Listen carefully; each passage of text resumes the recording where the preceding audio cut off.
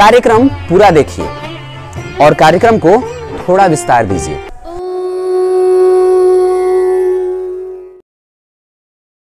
ऊंच नीच का भेद न माने, वही श्रेष्ठ ज्ञानी है। दया धर्म बसता हो जिसमें वही श्रेष्ठ प्राणी है। क्षत्रिय वही बसता हो जिसमें निर्भयता की आग। और सबसे श्रेष्ठ वही ब्राह्मण है जिसमें हो तप त्याग। प्रिय दर्शकों, नमस्कार। महाकवि रामधारी सिंह दिनकर के द्वारा रचित रश्मि रथी जिसमें कर्ण की महिमा गाई है। उसकी वीरता का वखान किया गया है। वहाँ से मैंने ये श्लोक लिया था, या ये पंक्ति ली थी। इनका अध्ययन कर लेने से, ये जो हमारे पास समस्त महाकाव्य हैं, इनका अध्ययन कर लेने से, या कभी न कभी हमें उनका स्मरण कर लेने से, या अभ्यास कर लेने से, हमें ऊर्जा मिलती है।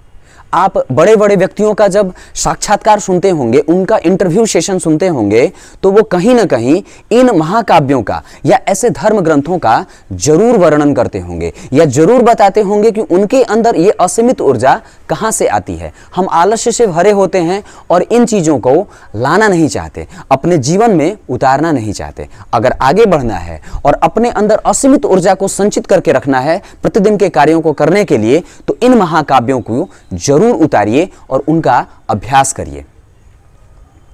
प्रिय दर्शकों, पिछले दो दिनों से हमारा जो कार्यक्रम है, वो यज्ञोपवीत को लेकर जारी है, जिसमें हमने अभी तक पहले सेशन में जाना था आयु, उसके लिए, विभिन्न वर्णों के लिए आयु कितनी होनी चाहिए और प्रारंभिक आयु क्या होनी चाहिए? दूसरे सेशन में हमने ये जाना था कि कुछ शब्दों को, शब्दावलियों को हमने अध्ययन किया था, अध्ययन में लाया था, जिसमें द्विज क्या होता है, ब्राह्मण और क्षत्रिय वैश्य वर्णों को क्या क्या चीज़ें करनी चाहिए, यज्ञोपवित से संबंधित, उसके नियम क्या हैं कौन कौन से नियमों का पालन करना चाहिए, इसके बारे में चर्चा करी थी। आज उस सेशन का यज्ञोपवित के जो हम कार्यक्रम को बना रहे हैं, उसका ये आखिरी कड़ी है, जिसमें हम कुछ तमाम छोटे छोटे सवालों को शामिल करेंगे, जो हमारे दिमागों में हमेशा यज्ञोपवित को लेकर के आम धारणाएँ चलती रहती हैं। प्रिय दर्शकों, आज जिस चीज़ की हमें सबसे ज़्यादा आवश्यकता है, वो ये है कि हम अपने संस्कारों को छोड़े नहीं, उसे पकड़े रहें।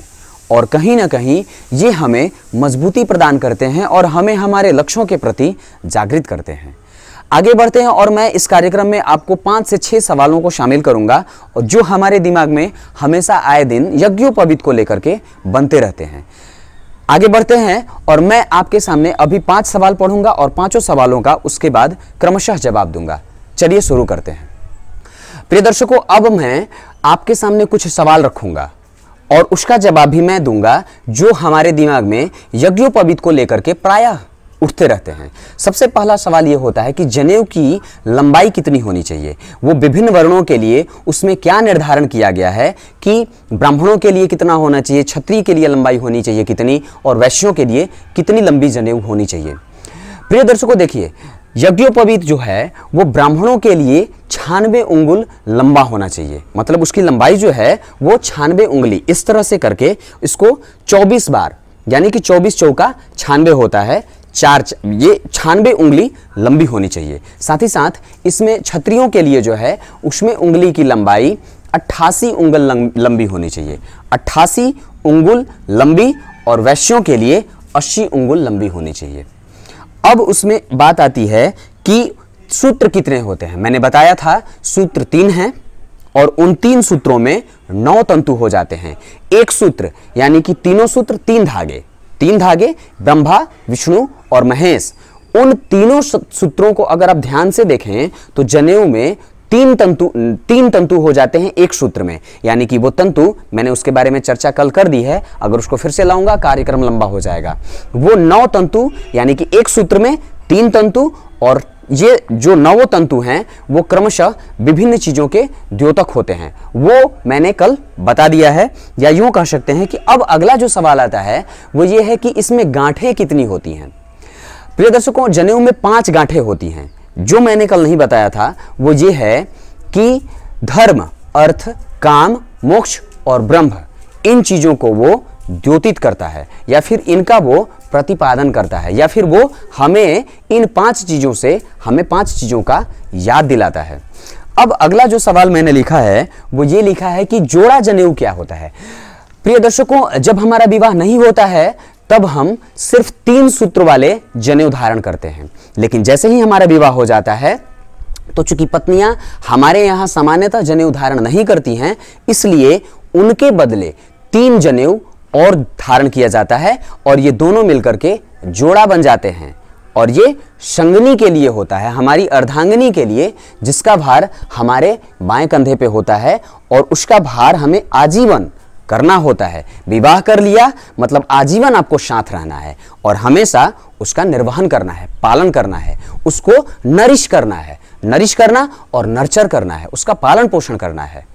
अगला जो सवाल हो जाता है, वो क्या होता है कि जनेऊ अशुद्ध कैसे होता है? प्रिय दर्शकों जनेऊ अशुद्ध के ऐसे देखें तो जब सनातनीय परंपरा की बात होती है तो जनेऊ को धारण करना और उसका निर्वहन करना बहुत कठिन हो जाता है। लेकिन चूँकि हम कलयुगी परंपरा में रह रहे हैं और जहाँ पे हम संस्कारों को छोड़ते जा रहे हैं तो फिर भी अगर हम धारण कर लेते हैं तो यही हमारे लिए बहुत बड़ी बात हो जाती है। जनेऊ अशुद्ध होता है स्मशान में चले जाने से। जनेऊ अशुद्ध होता है जनेऊ के हमारे शरीर से बाहर निकल जाने से।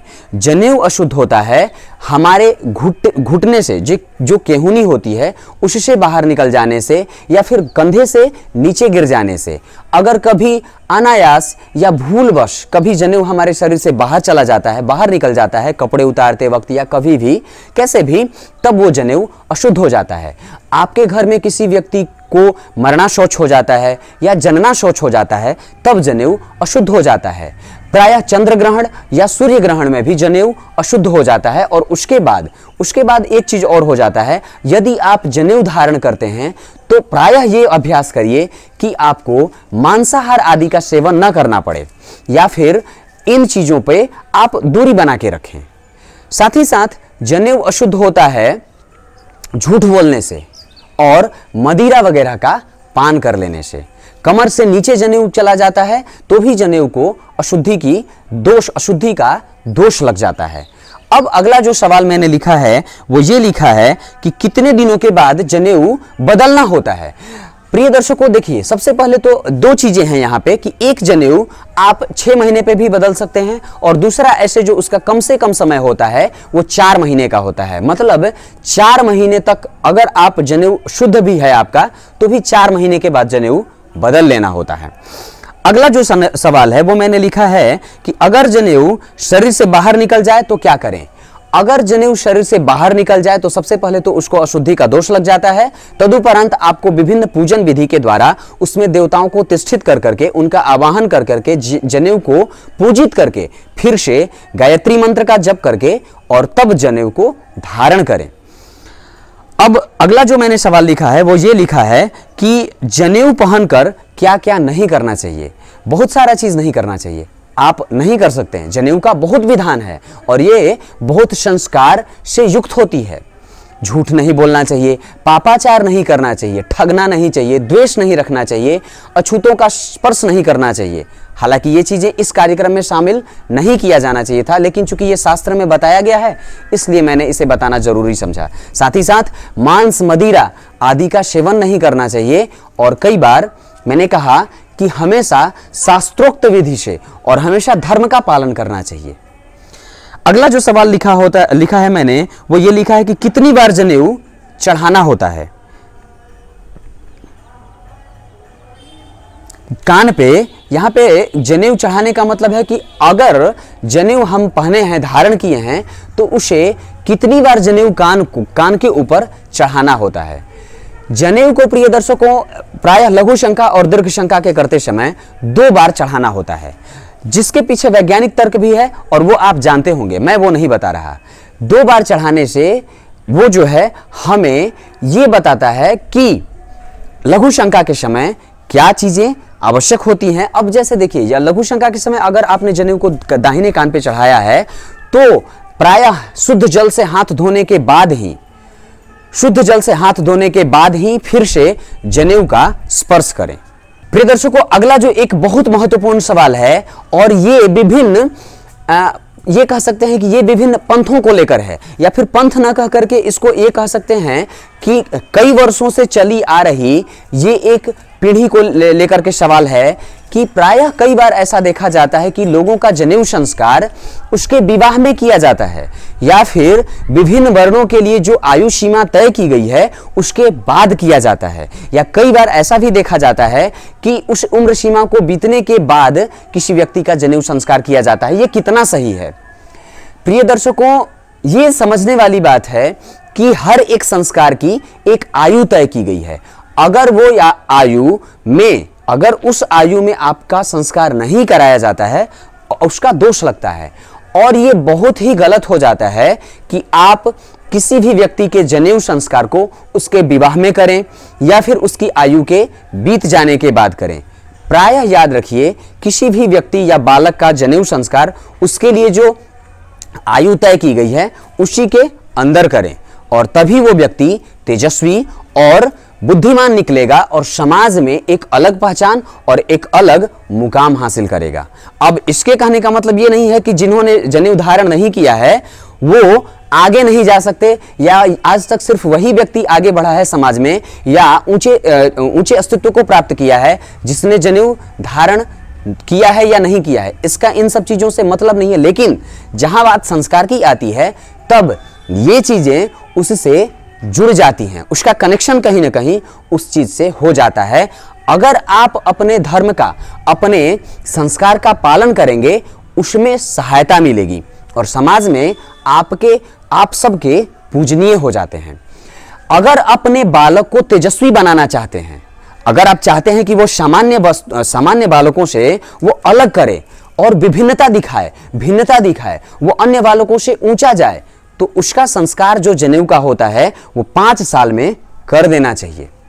और ये चीज़ें कि हमारे यहाँ विवाह में जनेऊ होता है, हमारे यहाँ किसी दूसरे अब चाचा का विवाह हो रहा है तो उसमें भतीजे को जनेऊ दे देते हैं। बहन की शादी हो रही है तो छोटे भाई का जनेऊ संस्कार कर दिया जाता है। ये हो सकता है सही हो आपके नज़र से, लेकिन शास्त्र के नज़र में ये चीज़ें गलत हैं। अगला ये मैंने कुछ सवाल लिखे हुए थे। ये सवाल, जो छोटे छोटे सवाल थे, मेरे दिमाग में वो आया था, वो मैंने इस कार्यक्रम में शामिल किया है। एक चीज़ बताना चाहूँगा। कौन जाने हमारी संस्कृति में, हमारे संस्कारों में कौन सा बालक क्या लेकर आया है, या क्या चाहता है? हो सकता है अगर वो विकास न कर रहा हो तो कहीं ना कहीं उसमें उसके संस्कार की कमी खल रही हो, या फिर उसका प्रारब्ध संस्कार को मांग रहा हो और हम उसे न दे रहे हो।